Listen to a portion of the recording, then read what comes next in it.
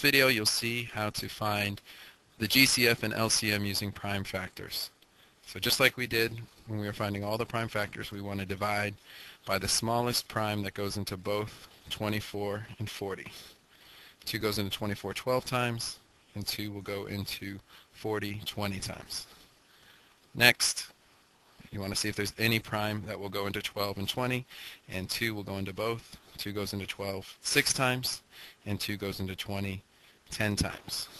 Again, find a prime that goes into both if possible. Again, we have 2. 2 goes into 6 3 times. 2 goes into 10 5 times.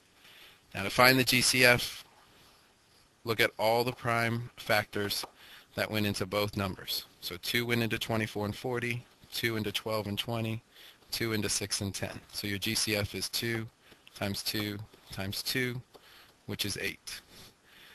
To find the LCM, all you need to do is multiply all of the prime factors you found here. 2, 2, 2, 3, and 5.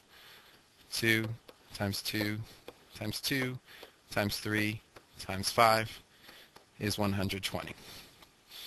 So the GCF of 24 and 40 is 8 and the LCM is 100. Okay, our last example, uh, we want to find the GCF and LCM of 12, 18, and 20. Again, what's the smallest prime that goes into the, these three numbers? That's 2. 2 goes into 12 6 times, into 18 9 times, and into 20 10 times. Now, is there another prime number that will go into 6, 9, and 10? No, there isn't. So the GCF is 2. Okay, now look 6, 9, and 10. What will go into uh, these numbers? No other prime will go into all three numbers, but a 2 will go into 6 three times, and a 2 will go into 10 five times. 2 does not go into 9, so we bring up the 9.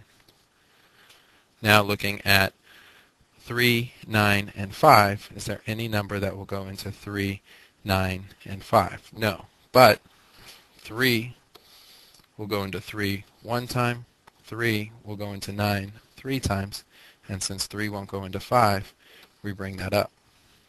To find the LCM, we multiply all of our prime numbers that we found here. So the LCM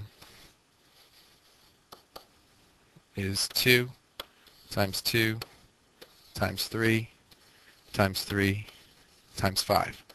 And that is 180. And that's how you use your prime factors to find GCF and LCM.